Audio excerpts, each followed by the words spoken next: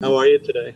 I am good. How are you? Oh, excellent. I was hired to conduct your interview today. All the questions are geared to try to assess your know skills in different technical areas. We just have a conversation about you know your history, your background, your experience, and I go ahead and I provide the feedback for eTeki that they're going to provide to the client. Well, uh, let's let's start then. Why don't you give me a little bit of your background, briefly uh, highlighting your strength areas? What has been the most um, closest to a firestorm, a hair on fire type scenario, and how did you and your existing team or colleagues like respond to that? What do you consider the uh, the most popular attack vector? How is the data determined for differential backup? I probably need to like refresh my knowledge of web codes. Yeah. That's okay. That's all right. Do you see the green icon bar in front of you on the screen? Mm-hmm. The one to the right of the pencil is the collaborative editor. Please open it.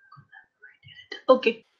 Can you read the first two lines for me? Populate the array with odd integers in the range of minus 1 to 100 and populate another, populate another integer with even arrays in the range of minus 1 to. Please write the code and let me know when you're done.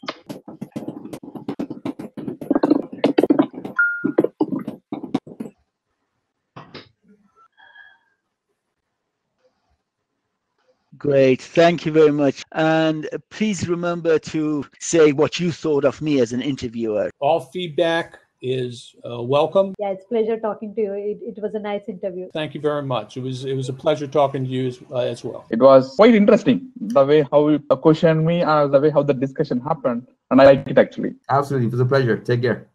Thank you. Bye bye.